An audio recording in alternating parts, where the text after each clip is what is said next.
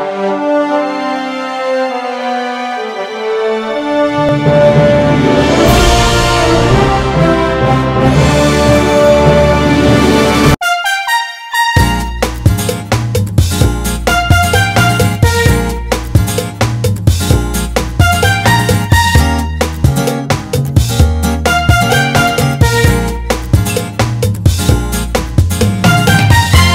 Jeff Gallashaw here for This Is Infamous at the 2014 Comic Con.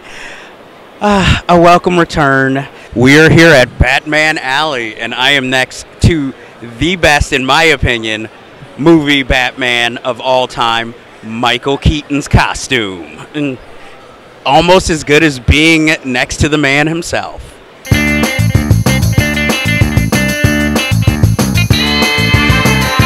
And here we are at a video game truck. Now, I am not the biggest video game person in the world. I can appreciate them in their own way because they are almost like the new film, their own art form and expression, but I can't say that really it's my cup of tea.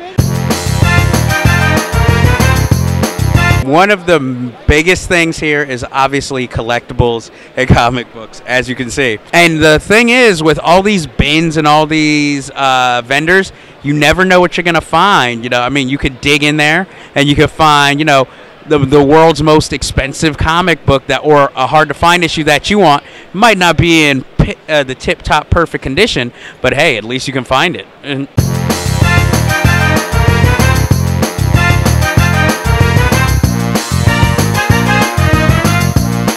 And as in all this confusion and as crowded as it gets, as you can see, people have to make way for where they can sit, and it doesn't matter how uncomfortable or where.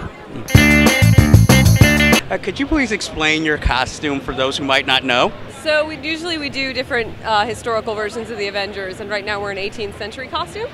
I've been joking all day that we're the characters from Charles Dickens' classic novel A Tale of Two Soldiers.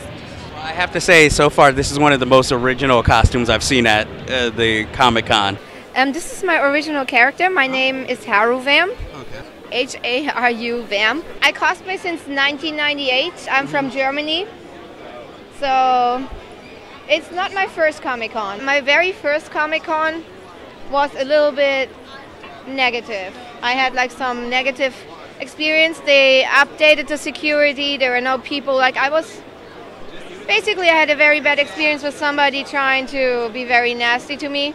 Obviously, this was needed this year. Uh, security has been better this year about this because, as in Cosplay Pass, people have been known to grope, feel up, or be tempted by scantily clad young ladies who are just trying to show their fandom and be creative.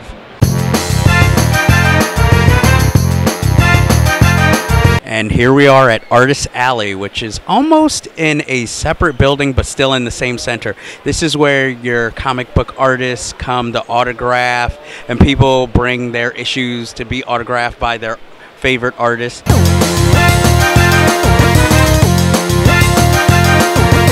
Outside the con, as you can see, I'm here for an exclusive with the Teen Titans. They don't seem to be very talkative.